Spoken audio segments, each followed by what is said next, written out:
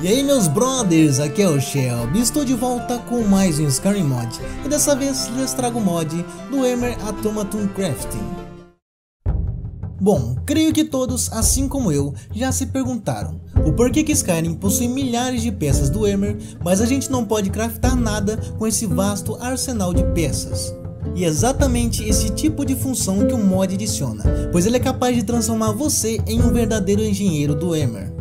E você ainda poderá fazer engenhocas incríveis com todos esses recursos.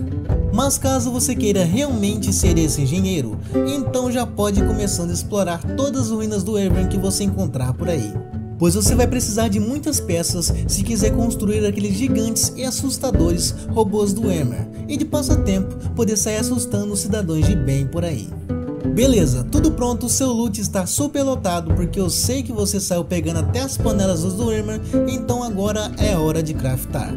A primeira coisa que você precisa é de um recipiente do Emer vazio, pois ele vai liberar todos os outros recipientes e vão dar origem aos outros robôs. Da mesma forma que você cria outros itens, você tem que melhorar suas habilidades de criação. Aqui é a mesma coisa, pois o mod acrescenta perks de metalurgia, na qual você evolui da mesma maneira que cria os robôs. Mas como você pode criar praticamente um exército completo de robôs, a coisa aqui deve ser toda organizada. Por isso o autor fez questão de separar os robôs em classes. A primeira e menor classe é a regular, onde fica os Dwever menores, como por exemplo a aranha, o Billista e o centurião a vapor. Outra classe notável é das criaturas por tipo. Essas criaturas são baseadas nas criaturas normais do Skyrim, como por exemplo temos o Dweven World Walker, que foi baseado em um Falmer. Outro robô interessante é o do Ever Punisher, que foi baseado em um lobisomem. Mas a classe mais poderosa em termos de força bruta são os Legendary Creators, ou no português, as criaturas lendárias. Essa classe fica ocupada pelos titãs, que são poderosos, mais lentos e desajeitados.